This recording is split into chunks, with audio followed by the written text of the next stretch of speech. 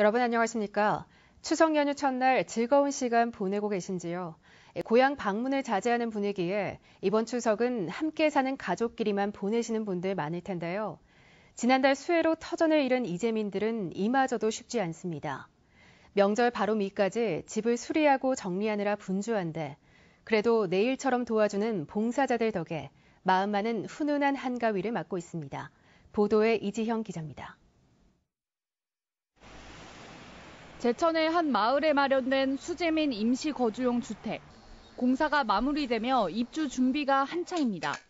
옷가지를 장롱에 넣고 먼지에 뒤덮인 그릇도 씻어 정리합니다.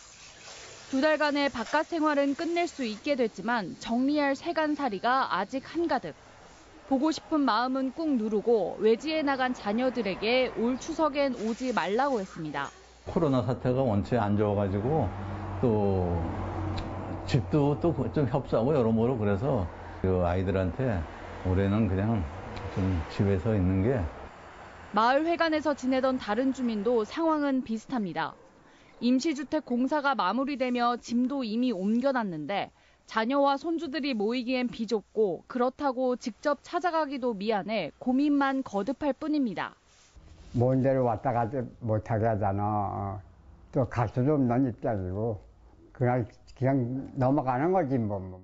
그나마 막막하고 허전한 마음을 달래는 건 계속되는 자원봉사자의 손길. 수해 흔적을 지우기 위한 복구 공사는 명절 바로 밑까지 이어졌습니다.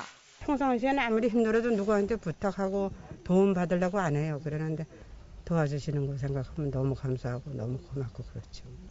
애초 추석 연휴가 끝난 뒤 시작하려 했지만 뼈대만 남은 집을 보며 두 배로 힘들 수재민 생각에 일정을 확 앞당겼습니다. 밤에는 춥고 그런 상황을 보고 저희들이 봉사원들이 하루빨리라도 할머니를 따뜻한 집에서 주무시게끔 하려고 진행하게 됐습니다. 모두가 처음 겪는 코로나에 더더욱 힘든 시기를 보내고 있는 수재민들. 복구할 건 끝이 없어 보이지만 그래도 한가위 명절을 보내며 수해로 인한 상처도 아물길 바라고 있습니다. MBC 뉴스 이지연입니다.